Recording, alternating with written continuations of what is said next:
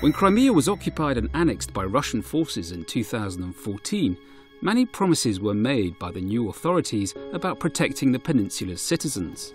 But when NATO Review interviewed Crimeans living in Kiev, we found out that several had left their home region because of fear. In the first of these stories, we talked to a Crimean Tatar about why he escaped from Crimea. My feelings are Crimea has turned into a prison. My relatives keep calling from Crimea that people disappear and the press is not informed. Why? Because when people disappear, particularly the believers, are Muslims, the relatives are even afraid to report it to the authorities, as it is the same as letting the criminals know about the violence taking place. It's pointless. Official statistics is about 18 to 19 cases, but in reality, there is a larger number of cases. But people are covering them up, as they are afraid that reporting those cases will only make matters worse.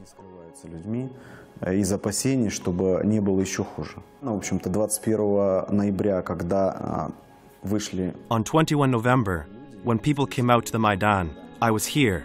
I was at the Maidan, the European square, and I spent here practically...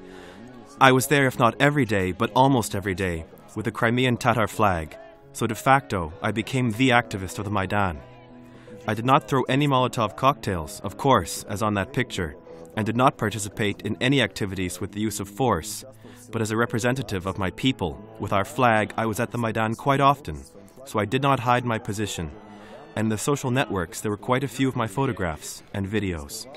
And people in Yalta, where I live, the neighbors, they all knew about this.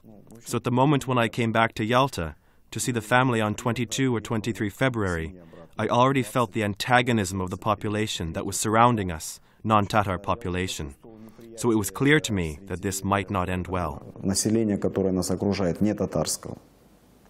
Вот. И для меня было понятно, что это может плохо закончиться. Но смотрите, от соседей были, допустим, уже вопросы, когда... Well, look, there were questions from the neighbors. When are you going to leave? How are you going to sell your house? Even though we were not announcing our intentions, so it will settle, creation of the situation which caused anxiety. When you are asked, and how do you plan to sell your house? We are thinking of buying your house for a low price. At school, they stopped teaching. In my son's case, he is in the third form, Ukrainian subjects. There was a ban on teaching Ukrainian language. Tatar was not taught at all. They started applying Russian propaganda. So, to avoid this influence, as my son is the only one Crimean Tatar in his class, it is quite a cunning system there were no direct threats, maybe, but they were creating the atmosphere of anxiety. That's what it was, first of all. The intimidating call started already in Kiev, when people thought we were still in Crimea, and we were receiving the calls here, including, for example, our flat was mortgaged, mortgaged by the bank, and the bank sold the data about us to the Russian Federation. So the call started from Moscow. We will take your accommodation away, etc. That sort of thing что мы у вас отберем жилье там, и так далее. Так же, как и там, но там они хотя бы крышу имеют какой-то над головой. There they at least have the roof over their heads. They're in a quite an anxious state. They ask me, why isn't Ukraine proactive?